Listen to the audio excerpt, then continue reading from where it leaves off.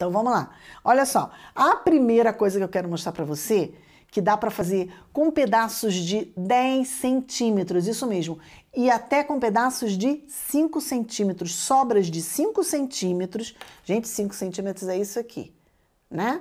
Mas dá para você fazer peça de macramê. Olha, primeira peça que eu quero te mostrar é essa que todo mundo ama de paixão, que é a pena. Algumas pessoas chamam de pena, outras pessoas chamam de folha de macramê. Você faz isso aqui com pedacinhos de 10 centímetros, retalhos de 10 centímetros. Você prende os 10 centímetros e você faz todo esse trabalho. Ah, Rosana, você falou que dá para fazer com 5 centímetros da André Mostra. Ah, olha, essa filhotinha, olha aqui. 5 centímetros. Mostra olha isso. Mão, dentro da sua mão. Olha, Olha o tamanho, como é pequenininha. Que fofura. E aí você usa 5 centímetros de cordão. E aí são aqueles pedacinhos assim que você pensa, ah, vou jogar fora. Olha, dá para fazer uma peça linda de macramê. Então dá para fazer pena de macramê. É a primeira coisa que eu quero te mostrar. Com retalhos também, pedacinhos de 10 centímetros. Olha que coisa linda você pode fazer. Olha isso. Um porta-guardanapo.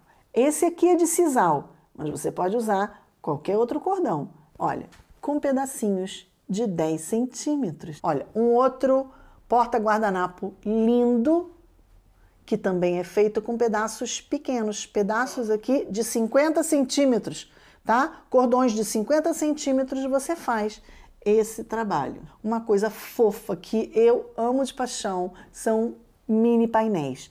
Esse painelzinho, esse mini painelzinho aqui, sabe o que, que é essa base aqui? Sabe o que é isso, André? O quê? Pau de canela. Mentira. Olha o cheirinho. Canela, gente. Verdade? De verdade. É pauzinho de canela. Olha. E ó, tem esse mini, mini painelzinho e tem os mini painéis que são. Esse aqui é mini, mini, né? É bem pequenininho. Olha, André, mostra a diferença entre os dois.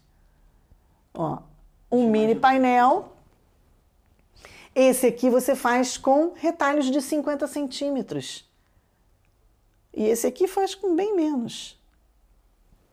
Olha isso, que coisa fofa. Um trabalho lindo, rico, delicado. Esse aí você fez no palitinho de churrasco? Esse aqui eu usei palitinho de churrasco. Aí, pra quem diz que não tem base. Pois é, tá vendo?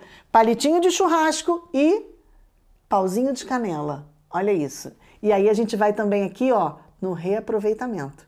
Né? Porque um palito de com um palito de churrasco eu faço três bases para um mini macramê.